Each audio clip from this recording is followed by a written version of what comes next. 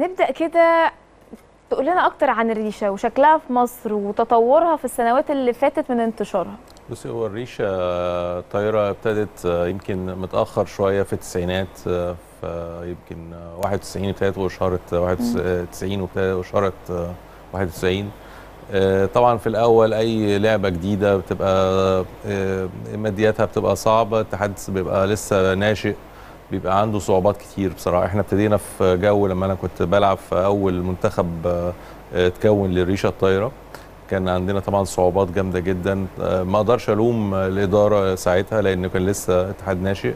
الدعم أكيد ما كانش متوفر بالكم اللي يخلينا نبتدي نعد نفسنا طبعا إعدادات كويسة. فمع الوقت طبعا اتأثر لعيبة الريشة الطايرة إن هم ما عملوش طفرات سريعة.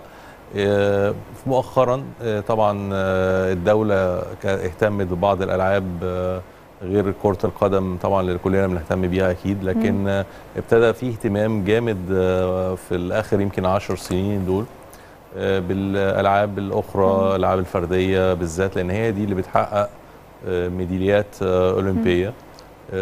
وده طبيعي إن أنا بدل ما أصرف على فريق كامل يعني يعدي ال 25 لاعب أو فرد في على أصرف على لاعب واحد أو أقدر أوصل بيه بخطة إن أنا لو هو أصلا لاعب واعد إن في أي لعبة من الألعاب الفردية أقدر أوصل بيه الأولمبياد بمنتهى السهولة عن مصرف على فرقة كبيرة زي فرق طبعا الكورة وال handball وال volleyball الحاجات دي طبعا أكيد بتفرق كتير يعني.